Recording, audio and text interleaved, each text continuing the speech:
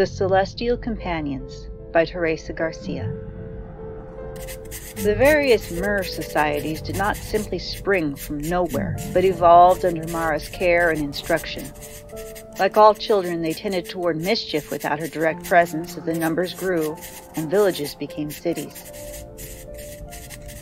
Shrines became temples, and those who had the mystic gifts drifted into the clergy and shamanic roles just as was happening with the land dwellers.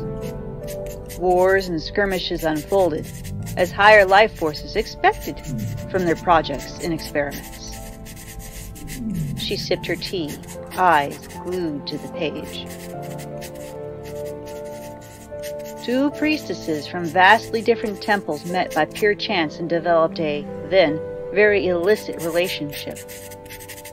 Not only were those closer to the surface previously unknown to fraternize by choice, and not only did they form the idea, planted in their hearts and minds, of course, of creating a network among the shrines and temples to spread and increase knowledge, but Neshmak and Barnala forswore male lovers and childbearing. The refusal to mate and bear children for Mara is what pointed to, among the temple scholars now, as what prompted the rule of mating, having children, and intermarriage among the points of the network. It is said that these two priestesses acted closer than sisters, even though their calling also meant that prolonged time together was a rare thing.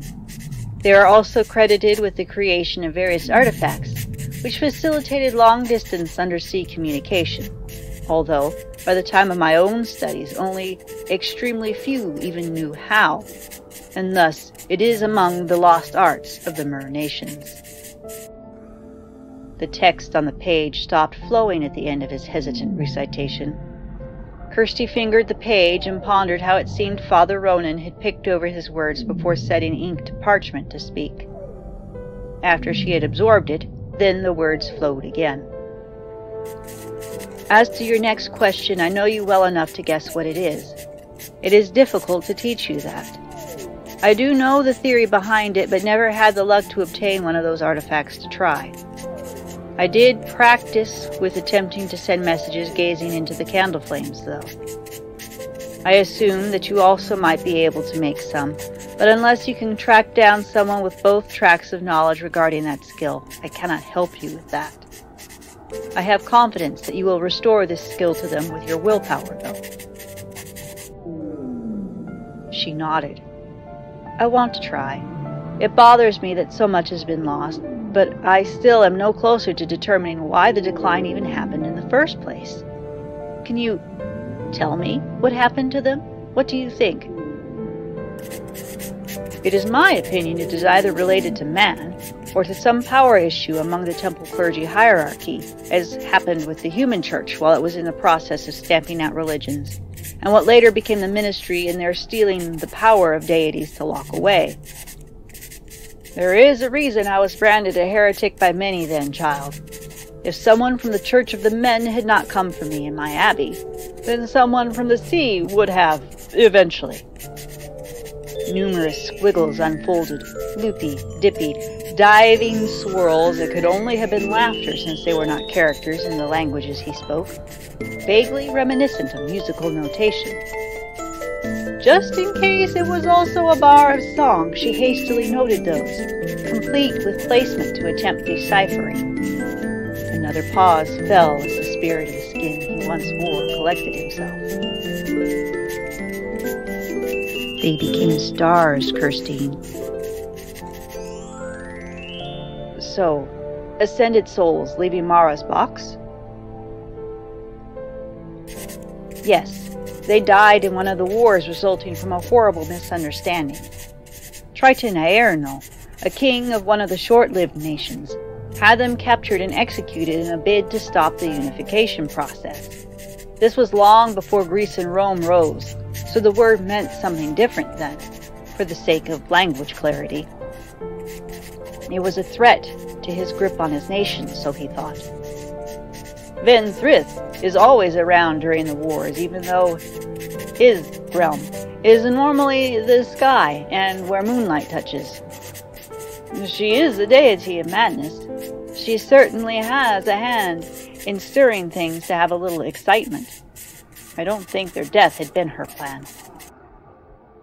So, I can assume that in order to make things up to Mara, he took their souls and created a constellation? Precisely. They no longer reincarnate, and Marnalla's skin is no longer either passing around or being held in storage.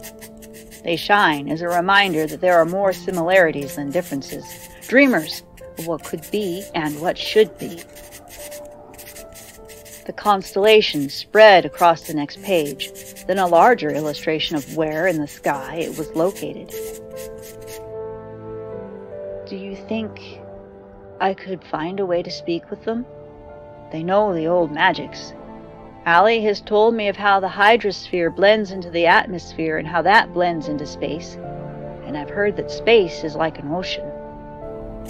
You will have to tell me more of the modern Cowan science. I see no reason why you would not be able to. It is just a matter of finding how. Ghosts roam here, and people speak in dreams, and there is a whole magical science regarding psychicism. Is that the modern word? Her fingers brushed the fur on the cover as she nodded. So, I should visit Professor Cassandra for some tea. That would be a start. Kirsty heaved a deep sigh. David will be uncomfortable and wary. I should let him know, though. It has been quite some time since I've had those nosebleeds, but I'm not sure if straining would cause one. I never should have listened to the snake all those years ago. You were only eager. I doubt you're the only Selkie who wanted to earn her skin that bad. I highly doubt anyone else wound up living in two different times at once. Point, but you had special circumstances. Surely there are others who also might have walked into that serpent's board trap. That doesn't make me feel better. Thank you for today's lesson, though. She closed the book of seals and leaned back at her desk, looking up at the potted plants that reminded her of some that she had seen in the forests of her mate's homeland. So many things to do, and now that I'm older and more prepared, I need to go back there to retrieve that shard of the lady and free that glacial spring. Her sigh deepened when the cup she lifted to her lips was empty.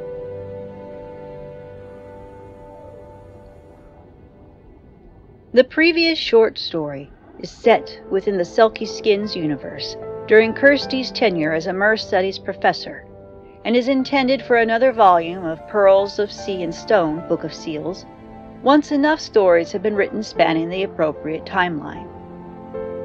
This is a separate companion series to the Selkie Skins stories.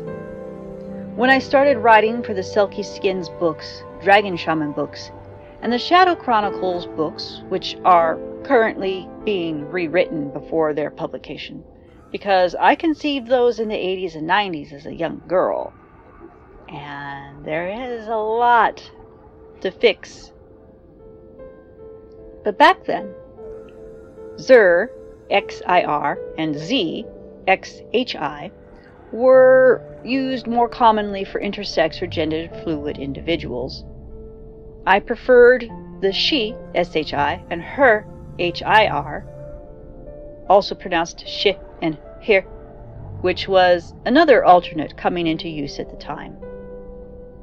It was less common, so that's why I preferred that, and it looked a little bit less odd. I believed there to be too confusing in use for this particular deity because it was both singular and plural. It made me very wary of the misinterpretation that could arise, such as what happened with Elohim. Ven Thrith, within this group of stories, is male, female, and neither, or both, as she pleases. So I stuck with that, even though it was not until I got into the Selkie stories where I got to use that kind of thing much. Thank you very much for listening. I do intend to be recording more stories, both of my own writing and other writings, for the podcast and for the YouTube channel.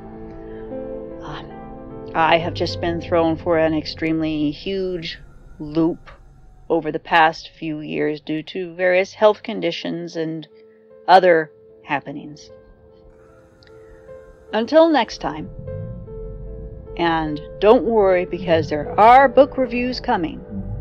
I am Teresa Garcia or Amehana Arashi, and this has been an episode of Mythical Minstrelsy.